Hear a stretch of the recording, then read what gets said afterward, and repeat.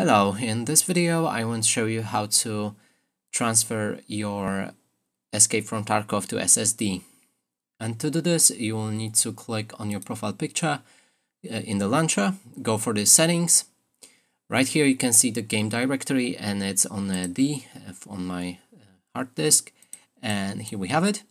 Now to actually move it, to take that entire folder, EFT, and copy it to your SSD and let's go for our SSD, like copy it anywhere. Then the game, uh, if you delete it on the hard drive in the game's EFT in my example, the game will try to download uh, new files, but we want to set the path for existing game files.